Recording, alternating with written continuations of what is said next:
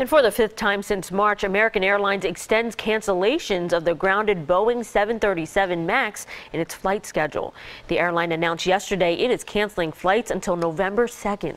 The 737 MAX model was grounded in March after two fatal crashes. And last month, a new potential problem with the jet was discovered during testing. The airline says new software updates and new training elements will lead to the aircraft being recertified this year.